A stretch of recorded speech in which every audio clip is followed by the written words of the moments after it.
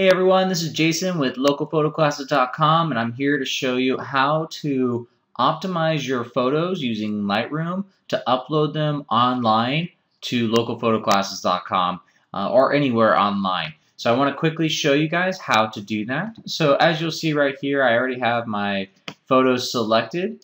Um, between the photos that I took in one of our landscape classes, some people enjoying in the class, as well as one or two uh, landscapes from the class at Sunset Cliffs. Uh, so once I narrowed down my selections, what I need to do is I need to hit Control A or Apple A uh, or Option A on Macs and select all of these, or you can just kind of uh, click one and hold down Control or Option. Um, just select all the images. However you got to do it, just select the images that you want to export, that you're going to want to upload online. And then what you'll do is you'll go to File, and then you'll hit export. You could also hit Control Shift E, which is what I like to do. So this basically pulls up your export dialog box. So what you will do here is you need to select where you want to export it to. I usually like to select it, uh, select the same folder in which the photos are stored. Um, and so I'll just go ahead and do that. I will name the photo, uh, the folder Facebook, because those are going to be going to Facebook or to localphotoclasses.com, but the optimization is roughly the same. And then what I'll do is I'll go to File Settings, and I'll bring my quality down to 80. Okay, that's usually optimized enough for web, but also brings down the overall file size quite substantially.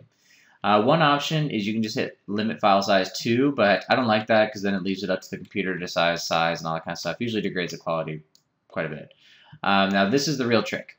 Click Resize to Fit, select Long Edge, and then put 2048 pixels at resolution 72. Basically, 2048 pixels, that is pretty much the highest resolution that you would ever need for any screen.